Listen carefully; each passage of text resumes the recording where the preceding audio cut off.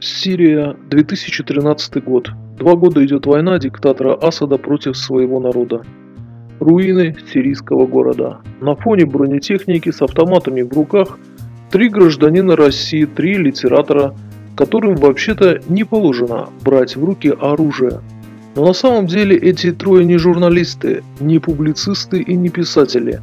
Они сотрудники путинских информационных войск и приехали в Сирию для того, чтобы снять фильм, который должен обосновать участие в этой войне России на стороне диктатора Асада. Фильм, в котором Александр Проханов, Михаил Леонтьев лгут про то, что эта война за русские города стал одним из многих тысяч информационных снарядов, подготовивших почву для появления в Сирии вооруженных сил России – которые в свою очередь окончательно превратили эту страну в кладбище. Эти трое, Проханов, Леонтьев и Шевченко, не могли не знать, что там происходит.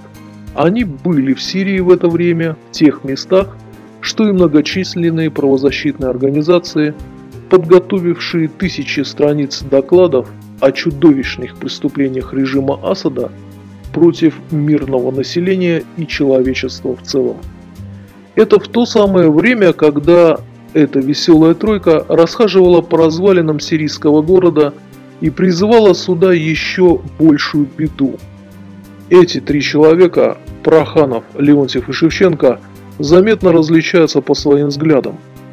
Александр Проханов – антисемит, антилиберал, последний солдат империи, человек в смутном, пронизанном мистицизмом сознании которого – смешалась красная и коричневая, левая и правая, тоска по Советской империи и страстное обожание террористов Хамас.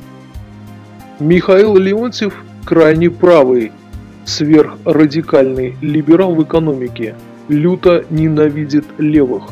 Получил премию Адама Смита, учрежденную Гайдаровским институтом экономики проблем переходного периода за критику либеральной политики с позиции либерализма. Идеал политика Пиночет. Единственный выход из кризиса мировой экономики видит в глобальной войне. Максим Шевченко, правозащитник в кавычках в президентском СПЧ, отчетливых левых взглядов, очень не любит Израиль считает террориста Брейвика последователем израильских методов по отношению к палестинцам. Идеологию Хамас считает аналогом христианской демократии. Исламист. Недавно принял ислам. Общее между ними то, что все трое просто-напросто фашисты. Это особый фашизм современного типа. Это путинизм, первый в истории фашизма эпохи постмодерна. Его нельзя назвать идеологией или философией или религией. Идеология – это система взглядов на мир. Такую систему взглядов можно изложить в тексте, напечатать книгу, например, манифест коммунистической партии или Майнкам, или краткий курс истории ВКПБ. Книга под названием «Путинизм» невозможно Поскольку если попытаться найти что-то общее, что объединяет сегодня всех их, что входит в понятие путинизм, то никакой системы взглядов не получится, сплошной хаос. Это будет скорее некоторый набор понятий, наподобие тех, что выработал криминальный мир, создавший параллельную субкультуру, противостоящую культуре нормальных людей. По отношению к внешнему миру эта тройка имперство, милитаризм, национализм. Это базовые ценности путинского фашизма. Только подумайте, насколько все там запутано. Всячески выпячивающий свое еврейство Соловьев может восхищаться и брататься с антисемитом Прохановым и воспринимать как врага еврея Гозмана – поскольку с Прохановым Соловьева объединяют перечисленные выше три базовые ценности – имперство, милитаризм, национализм. А с либералом, антиимперцем и космополитом Гозманом его ценности Соловьев не разделяет.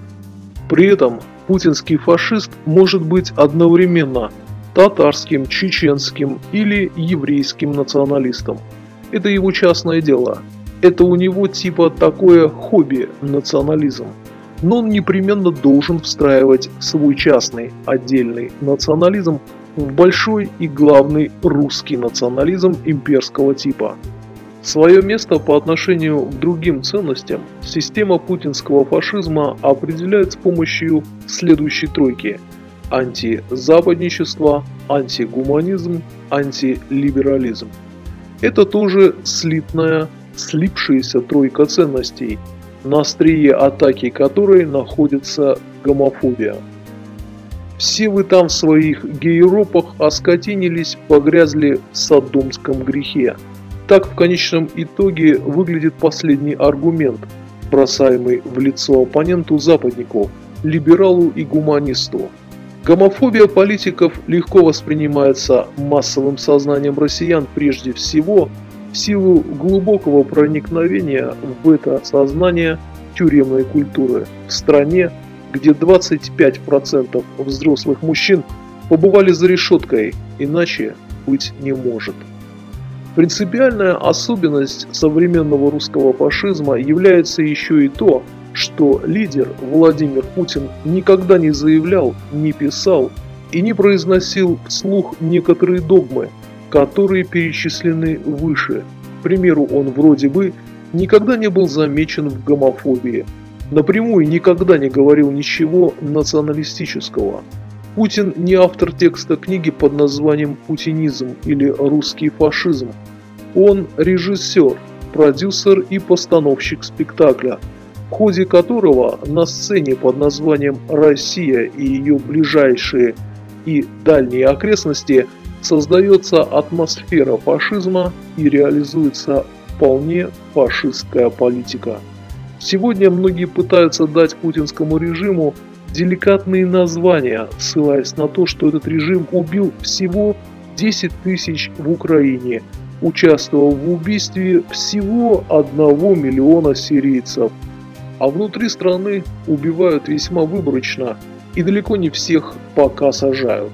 Наблюдая 17 лет трансформации путинского режима, Нельзя не заметить, как он за это время налился чужой кровью, ударился в агрессию, стал грабить ближних соседей, угрожать дальним, постоянно завинчивать гайки в своей стране. Чтобы этот процесс остановить, надо, чтобы думающие люди в России и во всем мире поняли, путинизм – это фашизм. Со временем, когда режим падет, и люди наконец-то дадут оценку тому, что происходит сейчас, будем надеяться, что и эта тройка ответит за свои злодеяния. Не забывайте эти имена. Александр Проханов, Михаил Леонтьев, Максим Шевченко.